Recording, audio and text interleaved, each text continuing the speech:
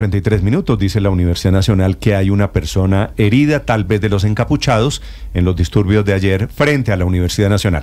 Señor alcalde Galán, alcalde de Bogotá, alcalde mayor, buenos días, señor alcalde.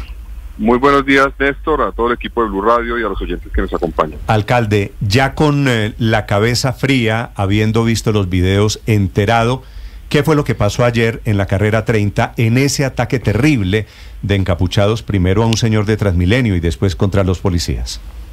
Bueno, Néstor, yo le cuento, ayer hacia las 9 de la mañana recibimos información de que en la tarde iba a haber un intento de bloqueo en la Universidad Nacional y que era posible que se utilizaran artefactos explosivos.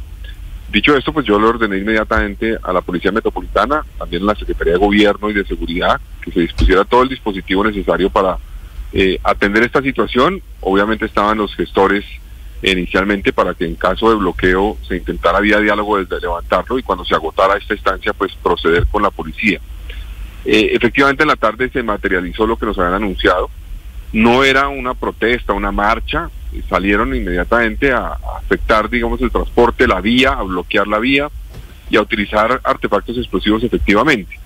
En un momento dado, eh, hacia las alrededor de las 5 de la tarde, un gestor de Transmilenio, son estos que van en moto por Transmilenio recorriendo las troncales, eh, y que buscan también en estas situaciones proteger el sistema y proteger a los pasajeros del sistema Transmilenio, eh, paró, esto es en la calle 26, realmente es del otro lado de la, de la Nacional, eh, paró en el costado norte de la 26 para alertar a los buses de Transmilenio que no pasaran por la zona a raíz de lo que estaba ocurriendo. En ese momento tratan de, de quemar su moto, estos, estos delincuentes, y por ahí pasó por el costado sur de la 26 una patrulla de la Dirección de Antinarcóticos, no era de la Policía Metropolitana de Bogotá, eh, y ve lo que está ocurriendo, este gestor de, movilidad pide apoyo porque pues le van a quemar la moto, le, le, roban, le quitaron el casco y se lo robaron, eh, y la patrulla para para atender la situación, inmediatamente para, le lanzan artefactos explosivos que no son cosas menores, esos artefactos pueden matar a una persona, ya ha ocurrido en el pasado,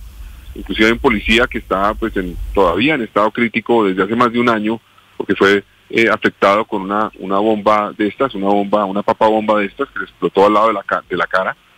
Entonces son artefactos realmente peligrosos. Les estallaron cinco alrededor de la camioneta, entonces ellos se bajan y reaccionan. Esa reacción será obviamente motivo de investigación, eh, pero lo que se percibe en los videos es que ellos reaccionan porque están siendo atacados con artefactos explosivos en ese momento.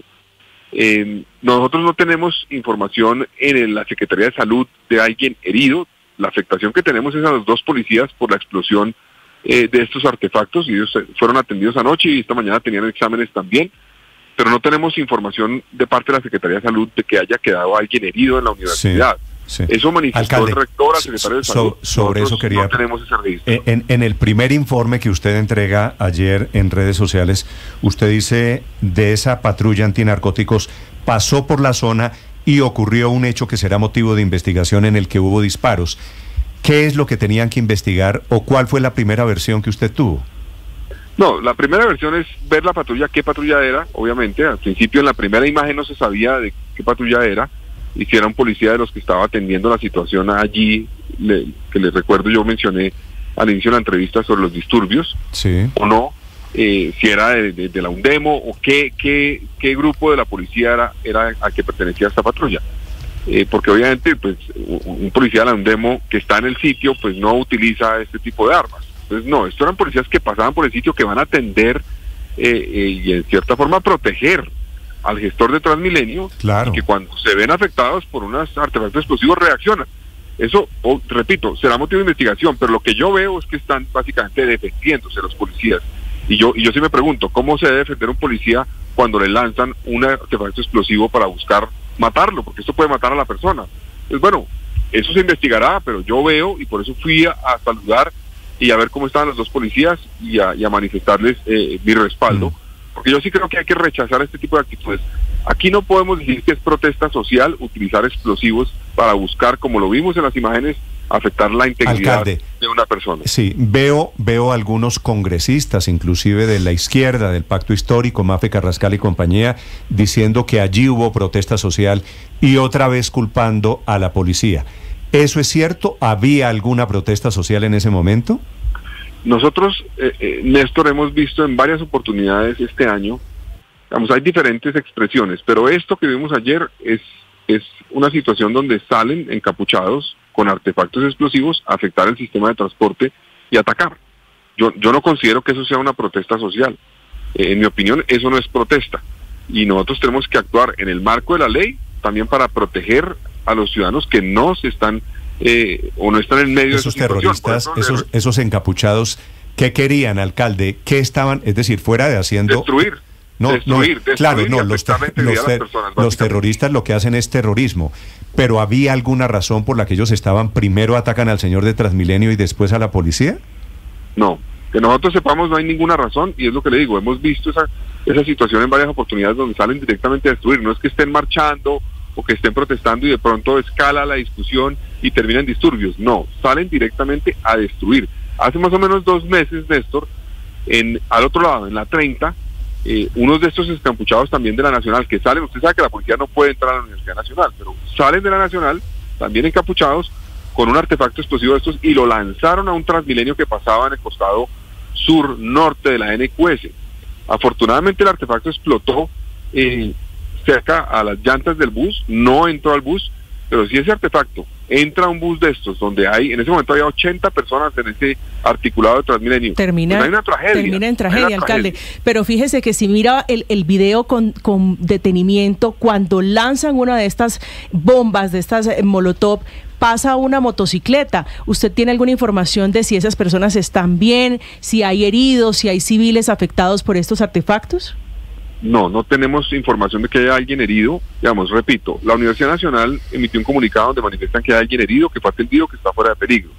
Yo le pedí al secretario de Salud que me informara en, eh, en, términos de la responsabilidad como autoridad de salud de Bogotá, quién había sido atendido por eventualmente alguna afectación eh, por proyectil de bala en Bogotá. Y nadie en esa zona el día de ayer fue afectado o por lo menos atendido por el sistema de salud, ni tampoco entendemos por el hospital de la Universidad Nacional. Entonces, estamos a la espera que nos cuenten quién fue la persona herida que manifiesta la Universidad sí. Nacional eh, para verificar, pero no tenemos información ni de alguien de la Nacional ni de uh -huh. alguien que estuviera pasando por la zona. Lo sí. que sí tenemos es a los dos policías afectados eh, en sus oídos por cuenta de las explosiones eh, de estos artefactos al lado de la patrulla. Alca eh, alcalde, una pregunta final. ¿Por qué no hay detenidos?